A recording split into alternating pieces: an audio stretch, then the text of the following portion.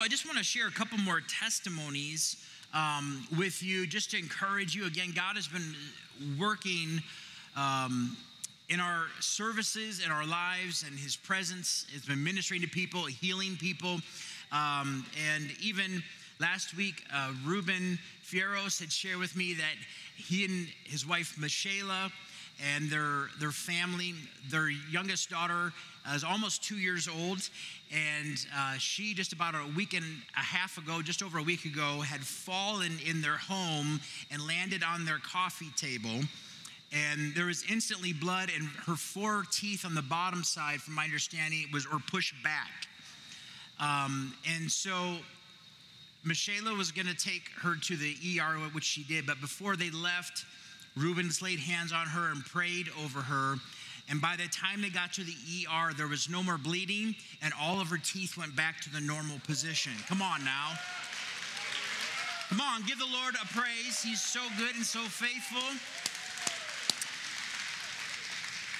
I, besides that being another Jesus testimony, come on, we need to brag on Jesus for who he is, but the Lord wants to do miracles not just on Sundays,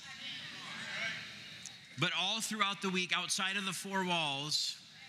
People that you come in contact with, you, your faith needs to rise up and to step in faith because God's going to meet you at your faith, even for other people and other needs. And even in our homes, we as fathers and mothers need to take a step of faith in those moments and just believe and com- command for Jesus to heal whatever need it is because the Lord is that good. Second thing I want to share with you as far as another testimony, uh, Liz Brias this morning mentioned to me that just a couple weeks ago when we were praying for healing, uh, her knee her knee pain left and has not been back since. And so again, thank you, Jesus, uh, for His faithfulness. He is our healer. Amen. All right. Well, I pray that that stirs your faith even in this moment as we jump into the Word here. Um, I want to just say, first extend a huge welcome to all the guests. If you're new with us or you've been here one or two, three times and you're, you're back, we just want to extend a huge welcome to you. And uh, there's a, a Connect card that you should have received when you came in this morning. And it looks like this. If you would take a few moments just to fill that out and then drop it in the black box in the back of the room after service, or you can uh, do the digital format which is in our app, Propel Church AZ, in your app store. You can download that, and we don't sell your information, we don't give it away either format. We just want to connect with you, engage with you in all that God is doing here at Propel. And so, church, would you grab your Bibles at this time and grab your outlines, whether again the Propel app or YouVersion app or the paper format. And if you would silence your phone so you're not a distraction to those around you. We're in this series, non negotiable are you still hanging with me in this series? I know it's a little bit longer series, but the Lord's been doing some powerful things, and and I don't I didn't want to cut it too short because I just want you to continue to grow in your faith, and I want to continue to grow in my faith in the Lord. And the reality is this: is that our faith needs to grow. It doesn't need to shrink back. And there's many in the world today that have had a faith in Jesus and they've either walked away from their faith in Christ for different reasons. And it could be because of all the chaos in the world and they're questioning, God, where are you? And how can you allow these things to happen? And if we keep our eyes on the world situation from a human standpoint, we will never figure it out and we will get frustrated, even as believers. And so it's so important for us to keep our eyes on Jesus for us to stay in the Word, for us to do life together as the church. Because if we're not, if we don't have each other's backs, if there's no unity, if there's no love for one another, and we're looking out for one another, the enemy wants to creep in and try to kill, steal, and destroy our life, the way Jesus said in John chapter 10. And so we're looking at that we've got to have a life of faith, which is a non negotiable, and it's the only life that pleases God. According to Hebrews 11 6 says, Without faith, it's impossible to please God because anyone who comes to him must believe that he exists and he rewards those who earnestly seek him. Church, I want to remind you again that faith is a non negotiable in our relationship with Jesus. As we daily pursue the Lord and all that he has for us. And here's the reality is that sometimes we don't realize that God has more for us or that He wants to do more in us. Not only through us, but He wants to do more in us personally. Yes, we've, we've accepted Christ, but He wants to continually be doing new things in us. He wants our faith to grow. There's more that God has for you so that you experience the fullness of God and His gifts and blessings in our life, in your life personally. And today we're going to look at another aspect of faith that God desires to reward in us. In Luke chapter 24, Jesus had risen from the dead, and he appears to his disciples to encourage them, to reveal himself that he is alive and well. And Luke writes that Jesus opened their minds to understand the scriptures.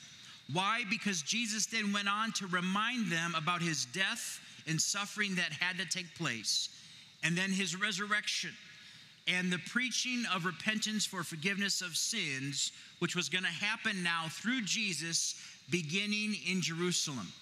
And Jesus then tells them, He says, You're going to be witnesses of these things. And here's what Jesus then says in Luke chapter 24, verse 49. He says, I'm going to send you what my Father has promised, but stay in the city, stay in Jerusalem until you have been clothed with power from on high. Church, I want to want to make sure that we're all on the same page as we dive in here is that the disciples had already experienced their salvation through their faith in Christ at this point. They were already believers.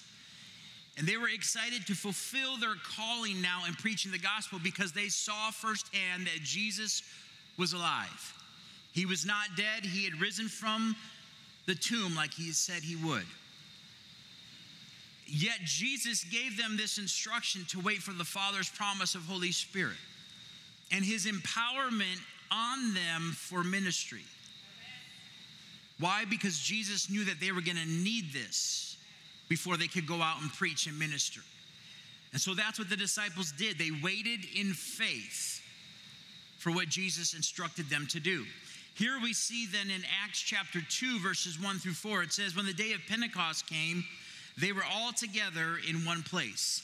And suddenly, a sound like the blowing of a violent wind came from heaven and filled the whole house where they were sitting.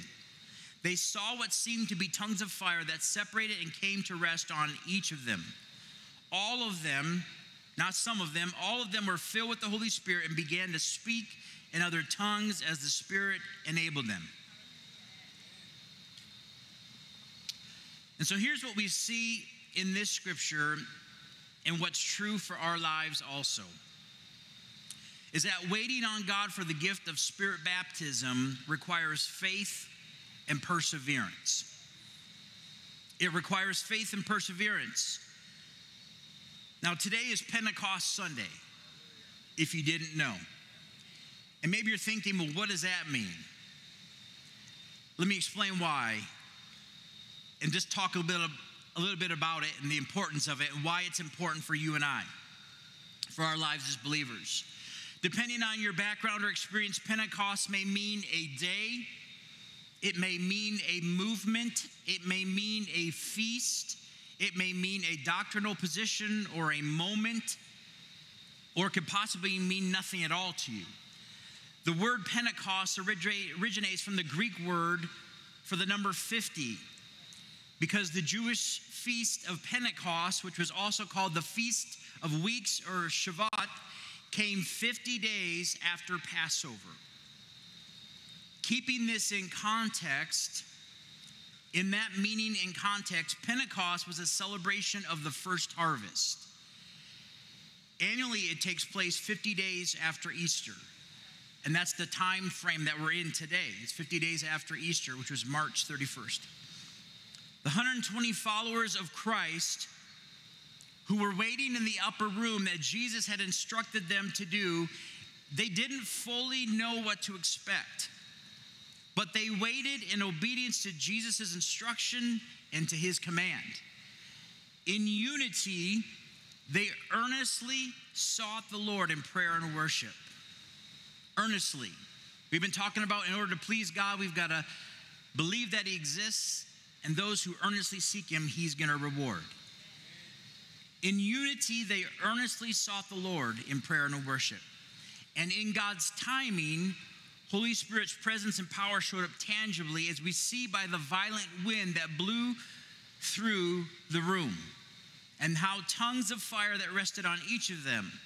And we know from Scripture that both wind and fire are common biblical signs of Holy Spirit's activity.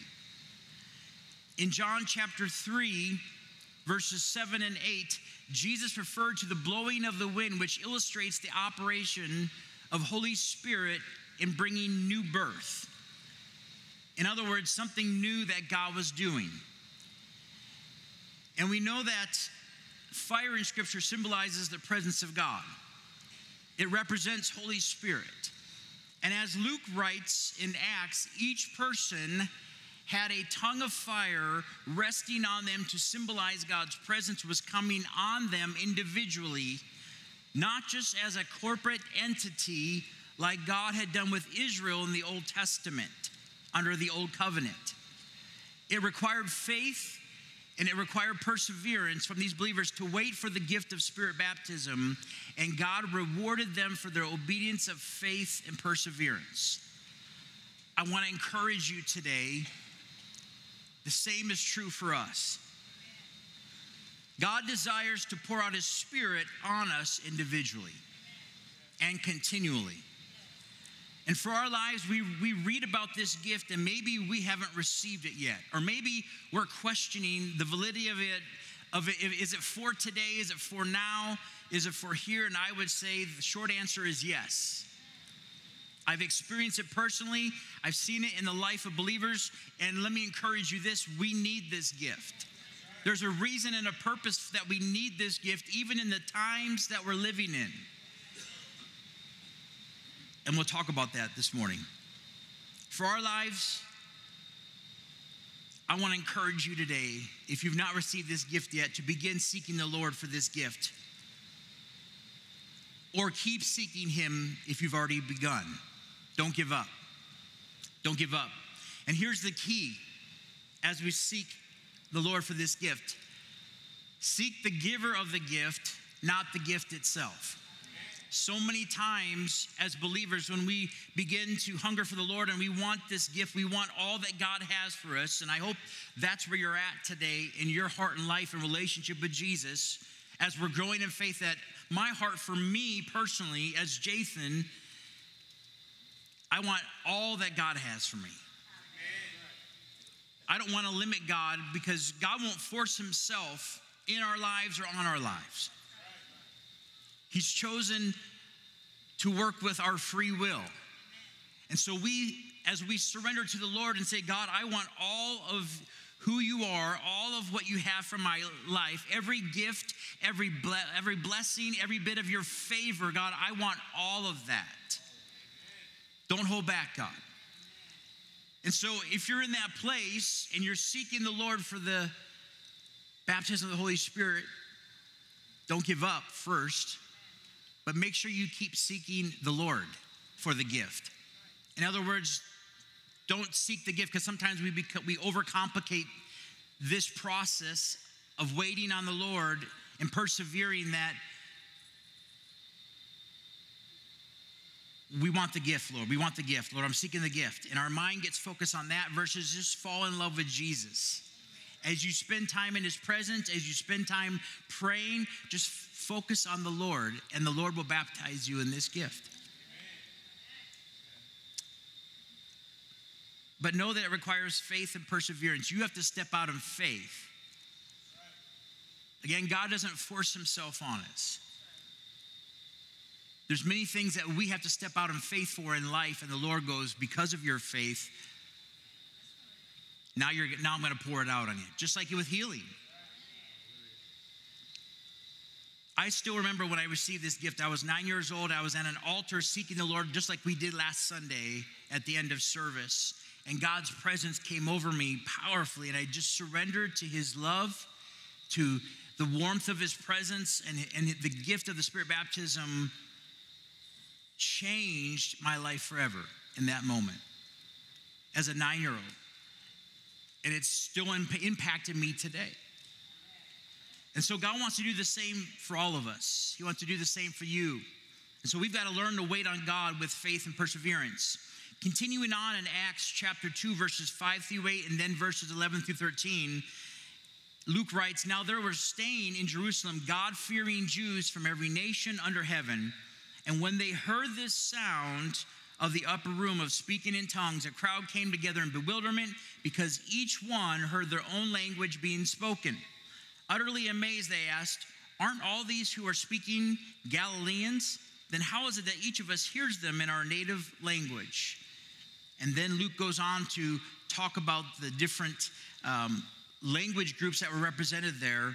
And then in verse 11, he says, Both Jews and converts to Judaism, Cretans and Arabs, we hear them declaring the wonders of God in our own tongues. Amazed and perplexed, they asked one another, What does this mean? And some, however, made fun of them and said, They have had too much wine. So they thought they were drunk.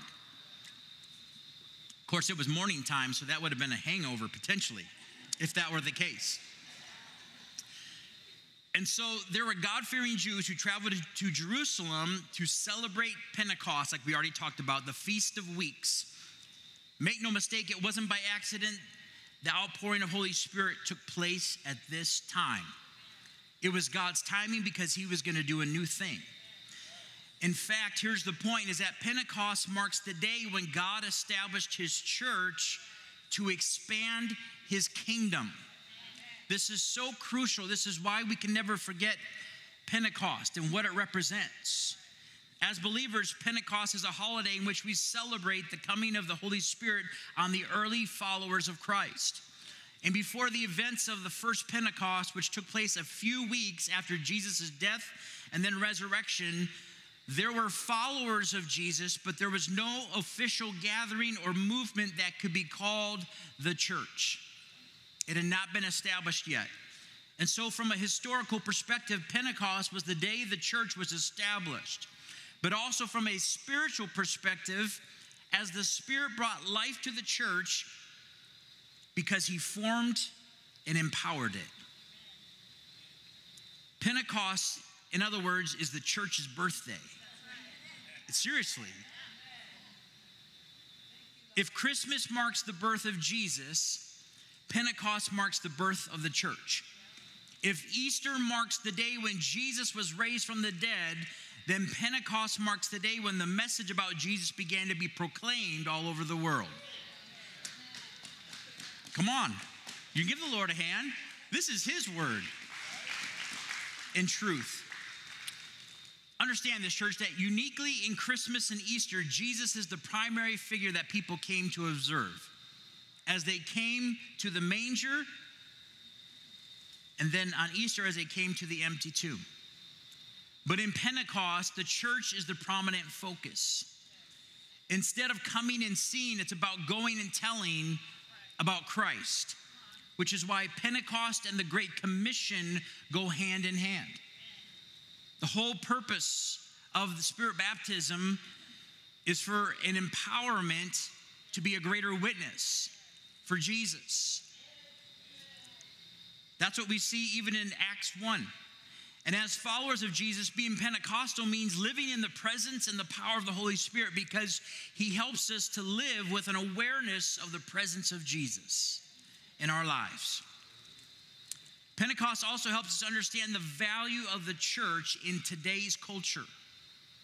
Sometimes people may think the church is unnecessary and I can do this life on my own. But Pentecost, however, is a clear reminder of the truth that the church is, the, is central to God's work throughout the earth. In other words, the local church, every local church around the world, is the hope of the world today. If they believe in Jesus and they're preaching and teaching Jesus, they are the hope of the world. And God has placed them there for that purpose. And so God invites us to partner with Him to expand His kingdom around the world. Going on, Pentecost indicates that God is present and is building His church through the power and unity of His Spirit. Since the day of Pentecost until now, God is present and actively building His church. The kingdom of God is continually advancing, Jesus said, and the gates of hell will not prevail. It will not stop God's movement of building his church and his kingdom. And Pentecost also signals the breaking of barriers that separated the human race even since Babel with the formation of the church through Christ. In other words, Pentecost, the day of Pentecost, reversed what happened at Bethel. If you recall back in Genesis chapter 11, at the beginning of the Bible, God's word says the whole world had one language and a common speech. And so everybody spoke the same language. There were no hindrances in communication. Everybody could work together easily because they understood one another. And the people at that time came together in unity to build a tower to reach to heaven, to get not only close to God, but to be like God because of human pride and self rule. And it says in Genesis 11, verse 5, that God came down to see what they were building, and he said, Because they can speak the same language, then nothing will be too impossible for them. So God confused their language, or he gave them multiple languages so they won't understand each other and he scattered them throughout the earth. And that's where we get the different language groups from that point on in Genesis 11. And maybe you're thinking now at this point, well, what does this have to do, Genesis 11, and the Tower of Babel that they were building? What does it have to do with Acts 2? I want to point out some interesting parallels and differences. First, all the world came into one place for a specific reason. In Genesis chapter 11, it was to build a tower to heaven. But in Acts 2, they gathered in Jerusalem either to wait on God or to celebrate Pentecost. Second, God came down in both instances, both in Genesis chapter 11, when they're building the tower, and also in Acts 2 in the upper room. And the differences and the reversals are just as interesting. In Genesis chapter 11, the people came to build Babel with one language, but in Acts 2, the Jews in Jerusalem during Pentecost heard the gospel with one language, one heavenly language. In Genesis 11, everyone left the Tower of Babel not being able to understand one another's speech. But the Jews in Acts 2 left the temple understanding the disciples' speech, which was the gospel. Message was preached and heard. Are you tracking with me? In Genesis 11, the Lord dispersed those into confusion, but in Acts 2, God dispersed those in Jerusalem with a unified message to their own peoples. So they would all go back to their own towns, their own cities, and their different languages, and they would communicate the gospel. In Genesis 11, the people sought to build their own building or tower, but in Acts 2, God was building his house and kingdom because he was establishing and building his church. Church, nothing has changed today except time. God's still building his kingdom and family through his church. He's still pouring out his power and presence on people people through spirit baptism and that's why we still need one another the church, the body of Christ, and we still need this gift of empowerment called the baptism of the Holy Spirit. And after the God fearing Jews asked, What does this mean in Acts 2? When they heard the disciples speaking in their different languages, we know from Scripture that Peter then preached Jesus, who he is and why he came. And he even used part of Joel chapter 2, which is an Old Testament book. And it says there at the end of Acts 2 that 3,000 were saved that day. Now that's what I'm talking about. That's God establishing his church, the church's birthday. And then we see the life of these believers on a continual basis in Acts chapter 2, verses 42 through 47. It says, They, the church, devoted themselves to the apostles' teaching and to fellowship, to the breaking of bread and to prayer. And everyone was filled with awe at the many wonders and signs performed by the apostles. All the believers were together and had everything in common. They sold property and possessions to give to anyone who had need. Every day they continued to meet together in the temple courts. They broke bread in their homes and ate together with glad and sincere hearts, praising God and enjoying the favor of all the people. And the Lord added to their number daily those who were being saved. Here's the point that I want you to take away today from this scripture is that Pentecost helps us to see the book of Acts as to what a healthy church looks like no matter the culture. Let me say it this way Acts is the only historical narrative in the Bible that is demonstrating what the New Testament church life looks like. Yes, there's different elements within the different New Testament books, but Acts paints a clear picture revealing God pouring out his spirit on imperfect people, and it encourages us by showing the potential of a spirit led living or life in every single culture, not just here in the United States, but around the world. This is what a healthy church life should look like. And so, Acts is our authoritative model for church life, no matter what language, no matter what tribe, no matter what people group around the world. And the history of the church over the past 2,000 years is not a record of its evolution. Rather, it demonstrates the spiritual battle in which God's Spirit restores the church to its rightful place with Him. God launched the church from the beginning, fully developed on, on the day of Pentecost. It was fully developed in that moment, not as a spiritual infant that grew to adulthood at a later time. That's why we always have to go back to Acts, no matter what church we're a part of. We're a part of the body of Christ, but God gave us a plan, and we see it in the book of Acts. And since Pentecost, there have been periodic renewals in the church where Holy Spirit brought life and a restoration, but He never added new truth because we have all the truth. Because spiritual renewal is one way that God brings His church into alignment with His purposes. And so we need the power of Holy Spirit to continually work within the body of Christ. We need the power of Holy Spirit to continue to work in and through Propel. That we would come into alignment with God's plans and purposes. God has called us here in the city of Maricopa to not only be the light, but to be the truth. To be salt to the world around us. He's called us here to help others find Jesus to transform culture, that we would truly be the church because the Holy Spirit is flowing in us and through us. And that means you and I, as individual believers, need the power and the presence of the Holy Spirit living on the inside, flowing through us in every single way.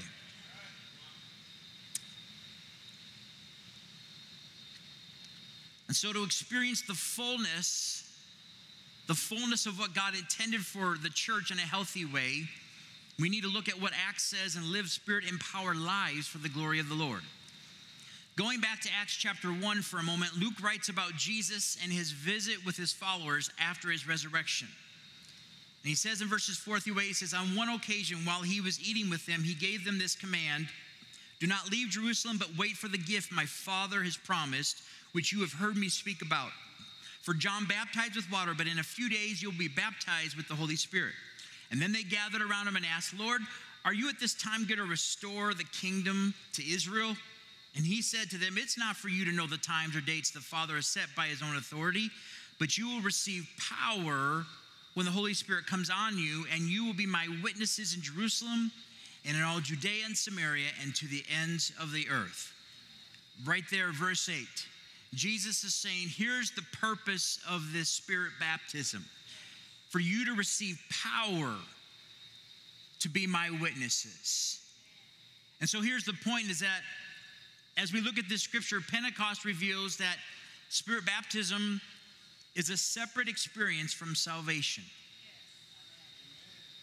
Those in the upper room waiting for this gift already had a faith relationship with Jesus. They already followed him. That's why they were obedient to him and waited to pursue this gift that he promised them.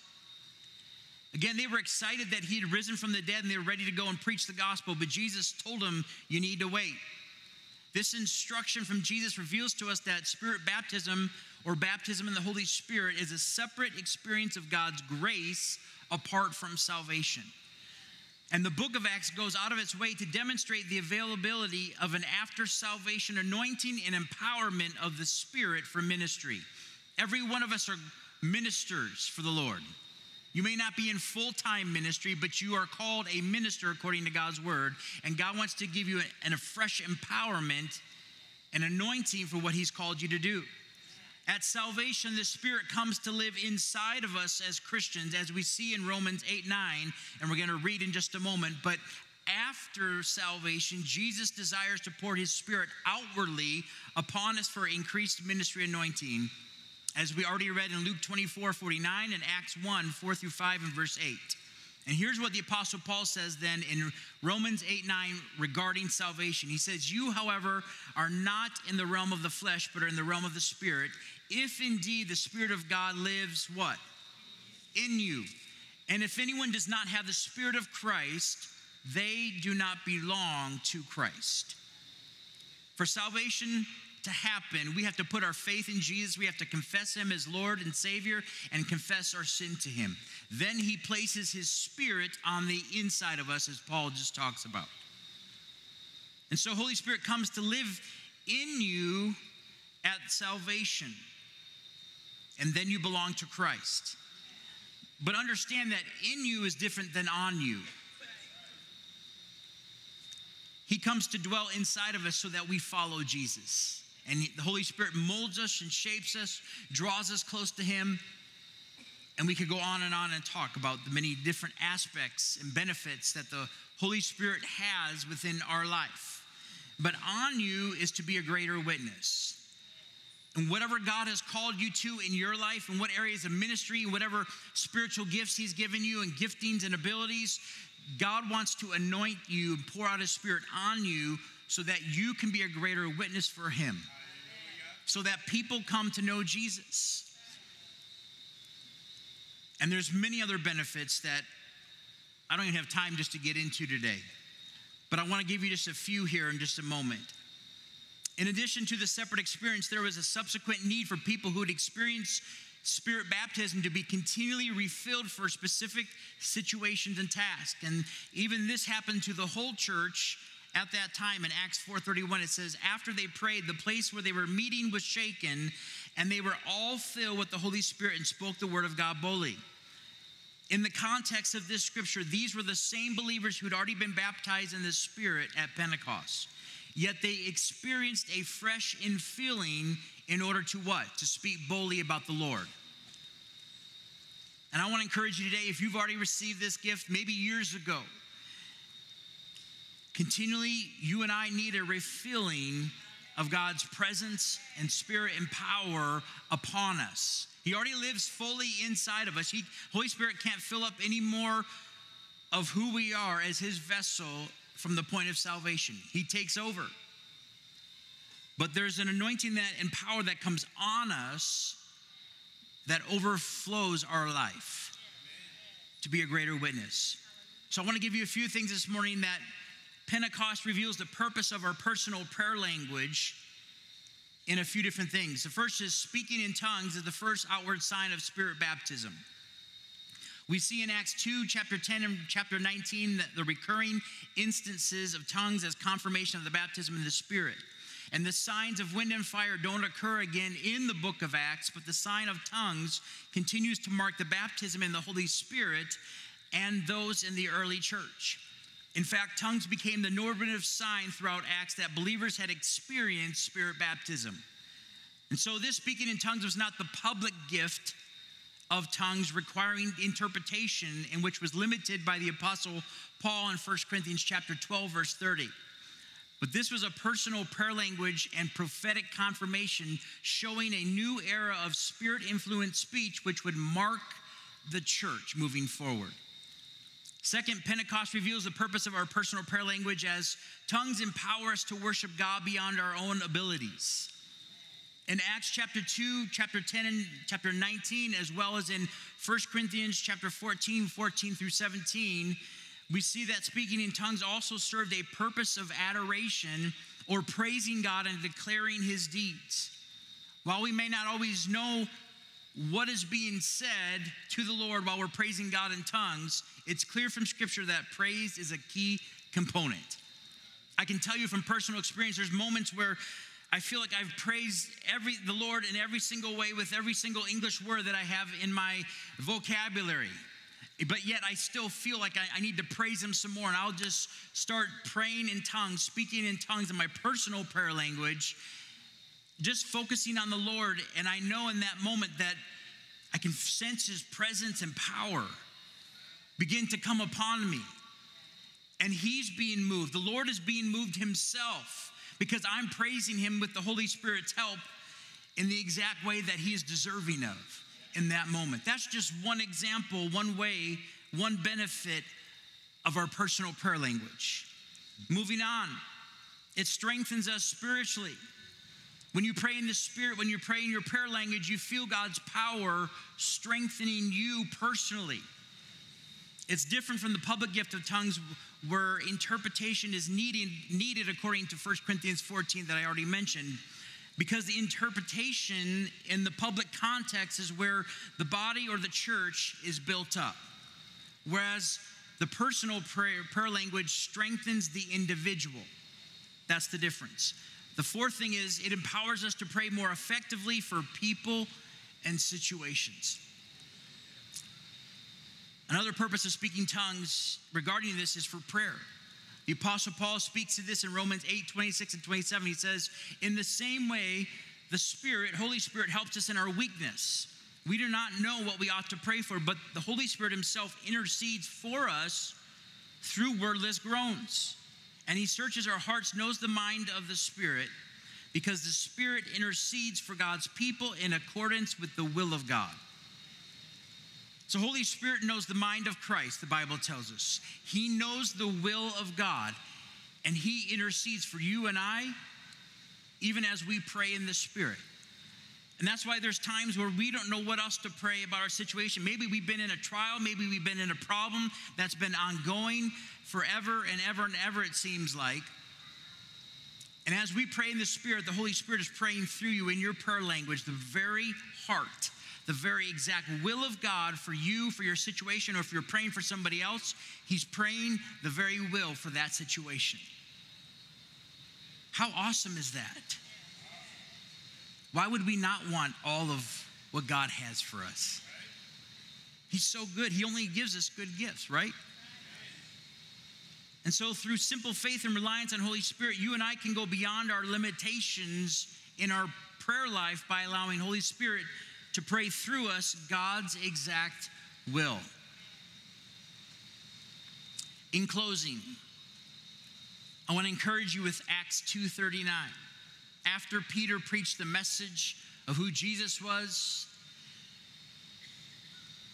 and it says the crowd were asking, Well, what shall we do? Because they were cut to the heart, they were being convicted. And so he told them to repent for their sins and to confess Jesus as Lord, to put their faith in him. And he goes on to talk about here the baptism of the Holy Spirit. He says, The promise is for you and for your children and for all who are far off, for all whom the Lord our God will call. Here's the point is that God is still looking to pour out his spirit on all who ask him for this gift. As I just read this gift, this promise from the Lord that Jesus promised them, it wasn't just for them in that time period. Why would the Lord give this gift to launch the church and go, I'm going to take it away now and it's no longer valid? And even scripture also tells us, and I don't have this listed here for you, but that until perfection comes, gifts and prophecy, so all the spiritual gifts will, will remain in operation.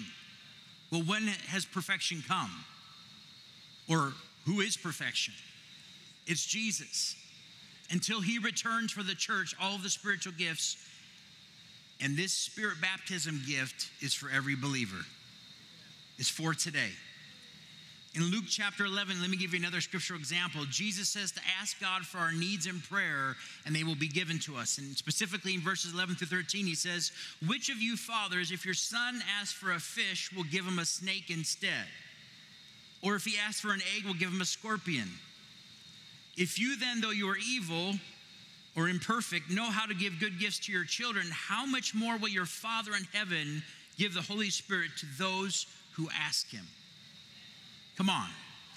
Those are the words of Jesus. The gift of the baptism of the Holy Spirit is available for every single believer until Jesus returns, as it says in Acts 2:39. God is waiting on you to seek him and to ask. Church, we need this gift of empowerment to be a greater witness for Christ in order to speak boldly, even in the times that we're living in. We need, we need it to do that all or everything that God has called you and I to accomplish while we're here in regards to the Great Commission. So we must seek God earnestly. We're not seeking the gift, we're seeking the giver of the gift in faith and perseverance. And God rewards those who earnestly seek Him. Do you believe that? Amen.